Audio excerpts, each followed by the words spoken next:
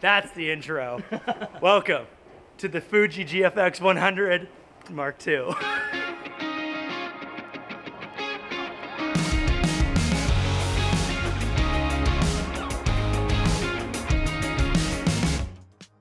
A few weeks ago, my editor Lucas and I were invited to Sweden, to Stockholm by Fujifilm to go and explore and check out the new GFX 100 Mark II and a few of their new lenses. So let's talk about the camera body. The camera itself looks premium and when it's in the hands, it feels premium. But it is a beefier and bigger camera and it also is quite heavy, especially when you start putting some of the bigger lenses on it. Now it is a medium format camera, so that is to be expected. And it is a similar experience to holding the Hasselblad Hasselblad X2D. One of the things that I thought was really cool about this camera is that you can actually take off the viewfinder, which is similar to the previous GFX models like the 50S and the 100S. So you're gonna end up having a camera that looks kind of similar to like a Sony FX3, but you just don't have any like mounting points on it.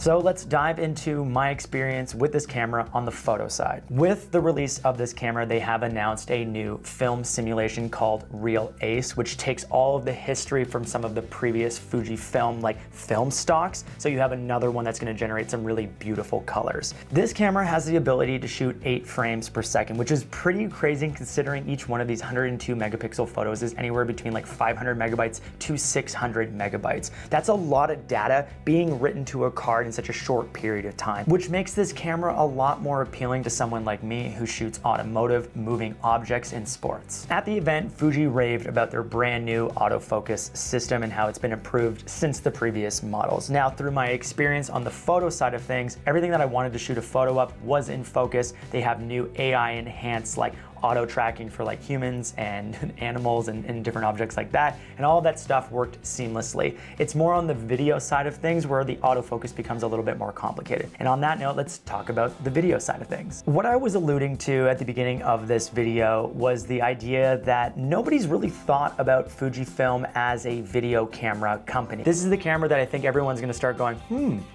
Okay, Fuji's at the table for video. So let's talk about some of like the pro features that they've introduced with this camera. So now we have ProRes internal, we got 14 stops of dynamic range. We have cloud support to send proxies through Frame IO. We have 4K 60 frames per second, and we also have 8K 30 frames per second, all in 422 color, and you can shoot ProRes. We have a new F-Log profile that we can shoot with.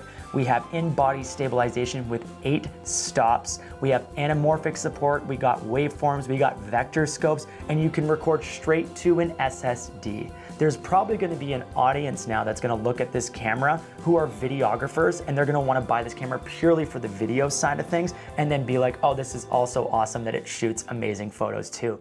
I basically alluded previously that the autofocus system on the video side is just like not quite there yet. And what I'm talking about is that yes, we've seen leaps and bounds in better autofocus performance from the previous GFX models on the video side of things. But when we're really doing like a comparison to something like a Lumix S5 Mark II or like a Sony FX3, the autofocus systems there are just like really dialed in. And if I had to compare those systems to this system, I would say that Fuji is about like 80 percent of the way. In my personal opinion, I really feel like this camera is positioned for pro level shooter, the person who's gonna be behind the camera most of the time. So if you're like a vlogger or a YouTube personality, I just don't really see you using this camera for like vlogging purposes. Like obviously you can always do those things, but it doesn't have a flip around screen. So you're not gonna be taking selfies with this camera. You're not gonna be taking any like vlogging video with this camera. It's pro level features with pro level resolution. And before I jump into my final thoughts, I just kind of mentioned one of the things that I really enjoyed on this camera. It was the ability to tether the camera to an iPad with Capture One so that you could see your photos